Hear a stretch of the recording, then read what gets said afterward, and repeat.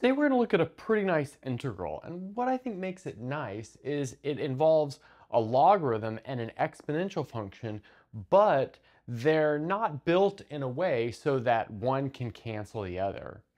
So to be precise, we have the natural log of 1 minus e to the minus x as the integrand.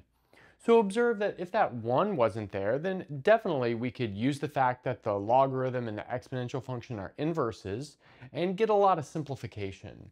But this slight deformation, if you will, of that, you know, nice case is what I think makes this integral stand out. Okay, so how are we going to approach this? Well, we're going to use one of my favorite methods, which is to rewrite this as a double integral and then go from there. So in fact, I want to view this as the integral from 0 to infinity of the natural log of 1 minus y times e to the minus x, where I'm evaluating that from y equals 0 up to y equals 1, and then dx. Okay, nice. So let's observe here that if we evaluate this at y equals 0, I have the natural log of 1, which is 0. Evaluating it at y equals 1 gives us what we started with. And what we want to do is think about this inside bit, this natural log of, all the way up to the evaluation, as what I like to call a zeroth integral. So evaluation at two points can be thought of as a zeroth integral. And then we can change that to a first integral via the fundamental theorem of calculus. In other words, we take the derivative of this function with respect to y and then introduce an integral from y equals 0 to y equals 1. Okay, so let's do that. So here we have the integral from 0 up to infinity, and then the integral from 0 up to 1 of well, let's be careful about this derivative with respect to y. We know that we're going to have that argument of the natural log in the denominator. But now we've got to take that argument's derivative with respect to y.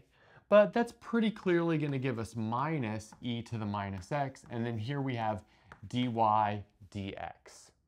So we've got something that looks like this. So next up, I'm going to observe that in my region of integration, if in kind of the worrisome places like the infinity and the zeros as necessary, we change this into a limit of proper integrals instead of improper integrals. But doing that kind of in the background will allow me to apply Fubini's theorem, which means I can switch the order of integration. So let's do that and I'm going to simultaneously bring a minus sign out front. So I've got minus the integral from 0 to 1, the integral from 0 to infinity, and now I have e to the minus x over 1 minus e to the minus x. Now it's dx dy. But now what I'd like to do, oh, actually, as I'm thinking about it a little bit more carefully, I'm actually not gonna bring that minus sign out. I'm gonna leave it inside, as we'll see with our next step, which is a nice substitution. And what I'd like to observe at this point is if I introduce a new variable, which perhaps we'll call t, and set t equal to e to the minus x, we'll see that dt is equal to minus e to the minus x dx.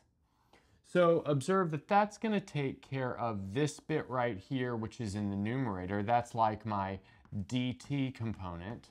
And then I've got this uh, function right here in the denominator, which is t. Okay, but what about the bounds of integration? Well, let's notice as x approaches 0, we'll see that t is approaching the number 1 because e to the 0 is 1. And then as x is approaching infinity, we'll see that t is approaching 0 because we've got exponential decay here. Okay, so now I've got the integral from 0 to 1 and then the integral from 1 to 0 of 1 over 1 minus t times y dt dy. So dt is first, dy is second. But now what I'll do next is rewrite this as an integral from 0 to 1 instead of an integral from 1 to 0. I can do that by introducing a minus sign. So here we have this is minus the integral from 0 to 1 of the integral from 0 to 1 of 1 minus, or 1 over 1 minus t times y dt dy. Although at this point, the order of integration doesn't matter because well, the bounds of integration are the same. Okay, so at this stage, what we'll do is expand that denominator using a geometric series.